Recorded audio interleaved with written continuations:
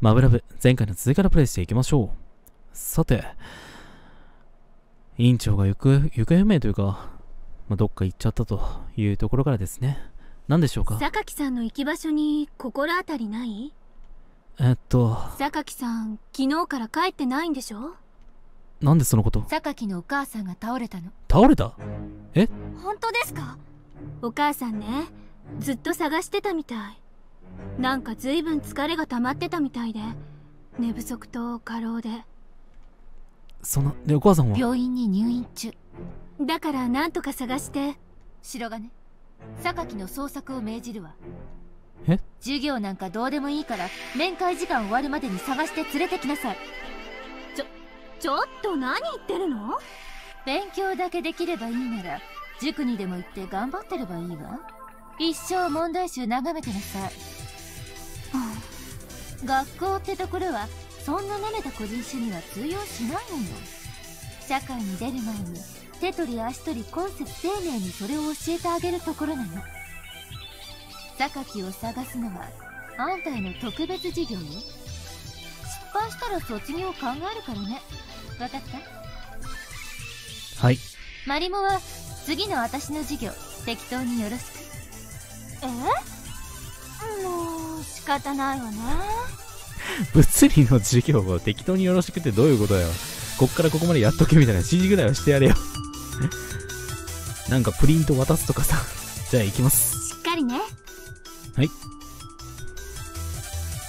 あれお前、探すよお母さん大変早見ね。どうせサボろうと思ってたし早見ね。ああ、行こう。委員長さ、お母さんのことが一番嫌いなんだってさ。そうどうしたお前？どうしたの？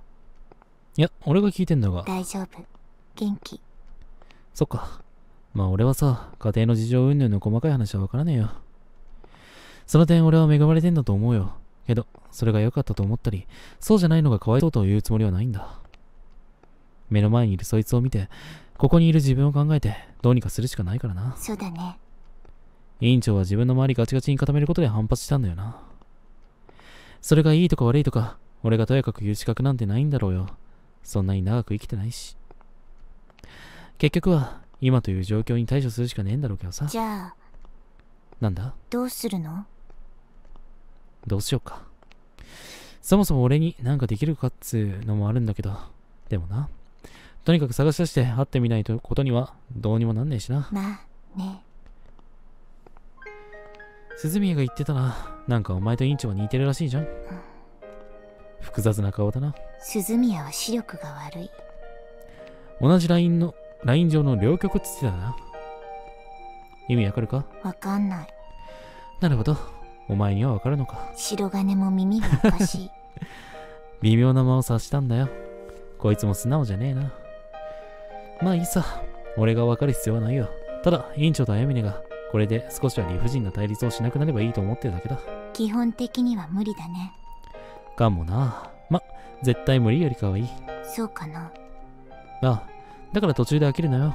やっては見るよなんか久しぶりにお前と人間らしい会話が成り立ってるよな。もう二度とないかも二度あることは三度あるって言うけど、昔の人はおかしなことを言ったね普通、うまいこと言ったとか言わないか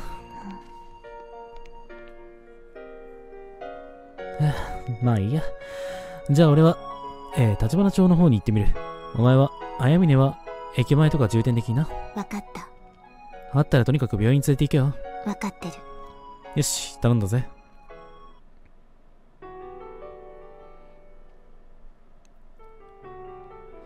電車、あ、そうか、電車で行かないといけないんか。うん。立花町まで来たのはいいけど、委員長が行くとしたらどこなんだろう。住処だったら分かりやすいんだけどな。とにかく探してみるか。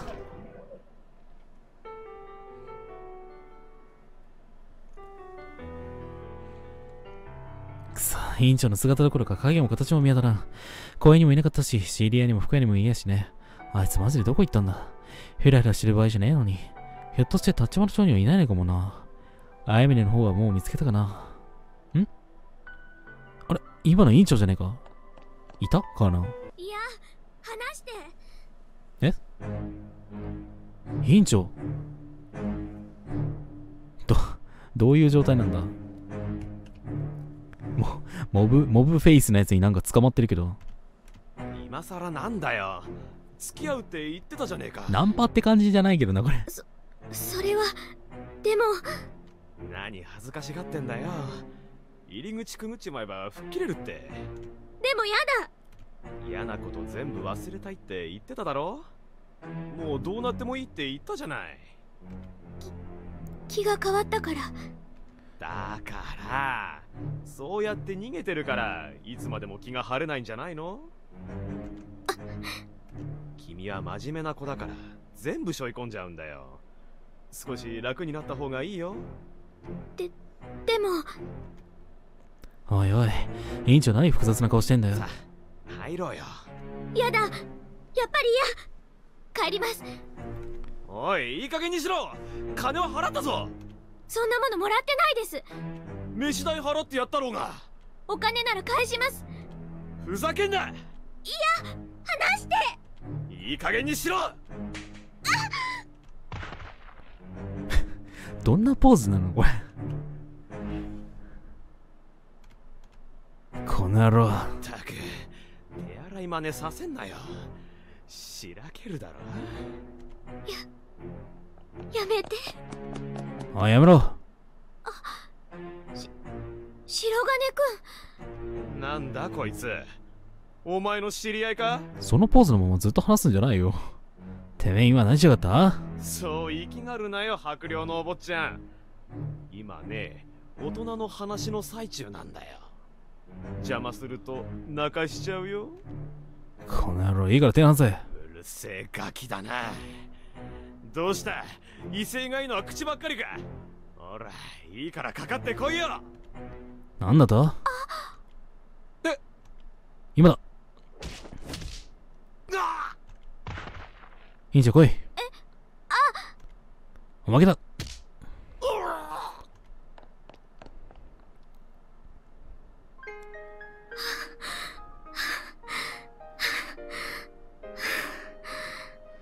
なんか卑怯な手を使った？追いかけてこれ来てないよな。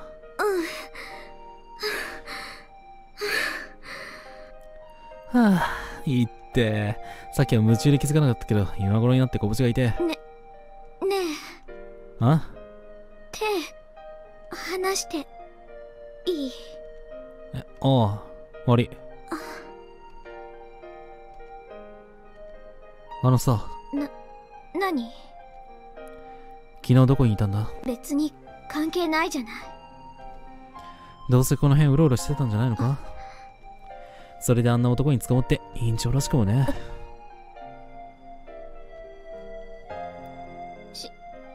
白金くんには関係ないでしょ？いろいろ聞こえてたぞ。あいつに付き合ってもいいとか言ったのか？答える必要ないわ。もうどうなってもいいって言ったのか？だからあなたに答える必要ないわ血迷いやがって。まあいいや、今はそれどころじゃない。よくないわよ何よ血迷うってそのままだよ。別に血迷ってなんかいないわよどこが？確かに声かけられてついていったのはどうかと思うわよ当たり前だ。でもあの人も会社のことでいろいろ悩んでたみたいだったからは？出版関係の編集やってるって。女の子向けの雑誌の。なんで雑だよ？そこまでは聞かなかっあいつの名前は？た知らない。けどそれでいろいろ話が聞ければって言うから。それで飯食いに行ったのか？ちゃんといろんな話したわよ。ふん。なんとなく意気投合してそれでホテル行ってもいいって？そんなこと言ってないわよ。でも付き合ってもいいって自分で言ったんじゃないのか？あんまりよく覚えてない。は？とにかくそういう意味で言ったんじゃないわよ。嘘つくなよ。お前はそんなこと予想できないほどバカじゃねえだろ。たく、都合悪くないかってあんまりかよ。しょうがないでしょ。断るような雰囲気じゃなかったしおいおい、なんでもかんでもあのとあの男のせいかよ。何よ？雑誌の編集が話を聞きたいって言ったから？で、飯付き合った？だからちゃんといろんな話。見ず知らずの男と飯食いに行くってお前が決めたことが問題なんじゃねえのか？で、あんなことになっていろんな話までした俺に言ったって、何の、いろんな話しましたって、ん？いろんな話しましたなんて俺に言ったって、何の慰めにもなんねえだろ。う。別に慰めようなんて思ってないわよ白金くんには関係ないでしょ自分で決めたんだからあのな、結果論かもしれないけど、俺はあの男の言動、お前の興味を引くだけの嘘だって見え見えだけどな。最初わかんなくても途中で気づくだろう、そういうのって。お前かなり参ってるだろどうしてよいつものお前だったらそのぐらい勘ぐるよな。勘ぐらなくてもいいことまで勘ぐりはまくるよな。なんでそんなに一人で背負い込むんだ？知ってるんでしょ？全部自分でやろうとでも思やれると思ってんのか？思ってるわよ。親に頼らず、頼らず？何でも自分で？本当に？思ってるわよ。じゃあ学費はどうなんだ？お前の学費誰が払ってんだ？ちゃんと返す。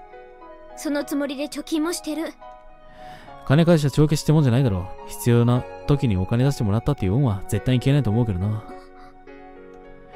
気持ちはわかるけど、親にそんなにまでして何をどうしたいんだ？あの人に何を聞いたか知らないけど私は私はあんな人間にだけは絶対にならない。委員長。自分を守るために自分は何にもしないで男に頼ってばかりでそれで捨てられれば次の男。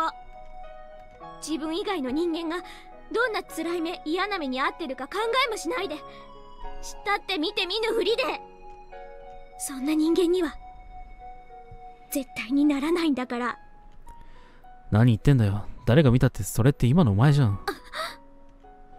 やっぱ親だな。よく見えてるよ。おふくさおふくろさん言ってたぜ。お前は自分に似てるから心配だって。なんですって？ふざけたこと言わないでふざけてるのはお前だろ。周りがどれだけ心配してるか知ってるくせに、見てみるふり、挙句の果てに見ず知らずの男に逃げやがって。違う誰も私なんて心配していないそれにあの男は私が利用したのよ私の意思でねちょっと待てよおい。鈴宮が、スミカやメイヤたちがお前にどうなってもいいって思ってるっていうのか。さっきから聞いてりゃ、二言目には自分で決めるってよ。ああ、それじゃああの男に無理やりホテルに連れ込まれちまえばよかったんだ。そうだろそれでよかったんだろ名前も知らない男によ、成り行きで。なあ、助けてなんて頼んでないなんだと？ああ、わかったよ。勝手に割り込まれて迷惑だったら悪い方な邪魔してよ。自分のことをろくに分かってねえ奴がよく言うよ。そういうのは視野なん、視野なんとか、視野なんとかっつうんだよ。視野がこんなに狭いんだ。こんなによ。うるさいあんたみたいないい加減な人間に何がわかるって言うのよああ、わかんねえな。でもな、今のお前の行動は、普段散々人のことをいい加減だって注意してきた奴がやることかよ。本当は分かってるくせに甘えやがって、一生悲劇のヒロインやってろよ。きっとお前はあれだな、結婚詐欺とかそんなのに簡単に引っかかるんだろうな。なんですって？臆病者の身勝手っつうんだよ。何がおふくろおふくろさんみたいになりたくねえだ。本当はお前の、お前はおふくろさんに構ってほしいだけだろ。いい加減におふくろさんに甘えただけ、だけなん。また殴った。悪いけどな、今日は逃がすわけにいかねえんだ。絶対離さねえぞ。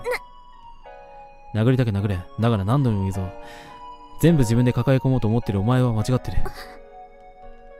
どんなにお前が自分、全部自分で抱え込もうとしたって、一体どれだけやれるってんだよ。ボロボロ、ボロボロ落としたもの、全部探して見つけて、自分でまた抱え込むつもりなのか本当にそんなことできると思ってんのかよ。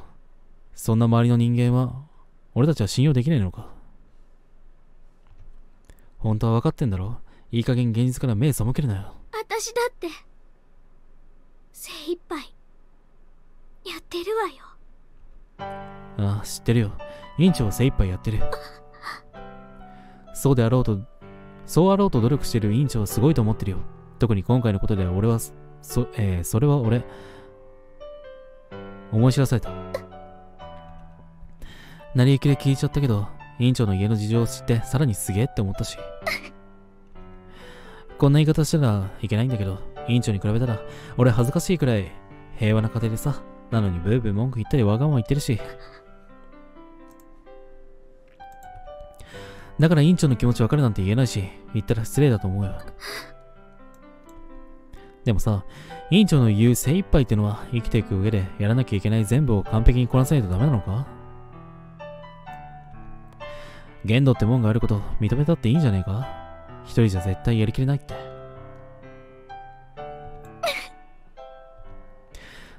疲れたら疲れたって言えよ。自分が気づく前に人に気づかされたっていいじゃんか。やろうと思ってたことを先にやれって言われちまってさ、あ、やっぱ、やるで合ってたんだって思えばいいじゃん。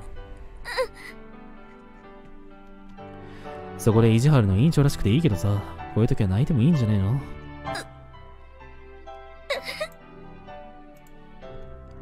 らしさなんてどうでもいいじゃん。どうしても理由が欲しいなら俺にひどいこと言われたってことでいいじゃん。そうやって後で俺をいじめてもいいんだぜ。と。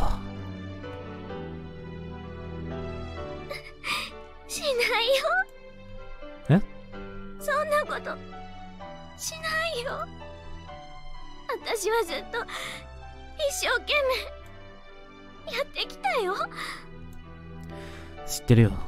全部俺は認めてる。鈴宮だって、みんなだってきっとそうだ。だってそうしなきゃそうしなきゃわかってる。そうしなきゃ私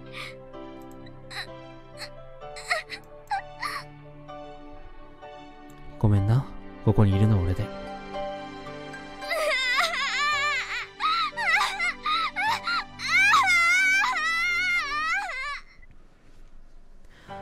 委員長の髪がふと鼻先をかすめた。嗅いだことのないシャンプーの香りがする。掴まれた肩が痛い。頬に触れた頭が、えー体が大きく震えている。よくわからない。とても不謹慎な気持ちが俺の中でぐるぐる回っている。俺の腕の中で泣いている委員長が、委員長が俺の腕の中で泣いていることが嬉しい。そう感じている。俺はこんなに委員長を追い詰めて怒らせて、最後には泣かせてしまったのに。それを、どうしてそれを嬉しいと思うんだ？それが本気で、そばにいること、なんとなくそういう気がしたから、鈴宮の言葉で心がいっぱいになる。委員長の体を抱き寄せて、頬を寄せて包み込む。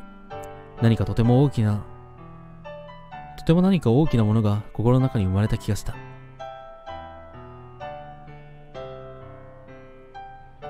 大人は結構いい加減だしずるいよな。でもやっぱりすげえよ。伊達に年食ってねっていうか、なんていうか。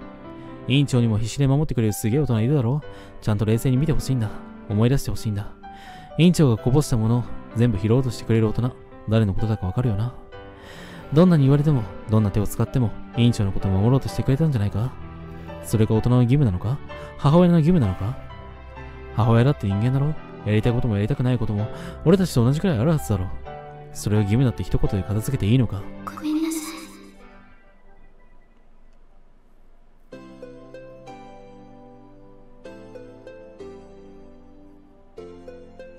なさい白金くんはい。ということで、ここで一旦区切りましょうか。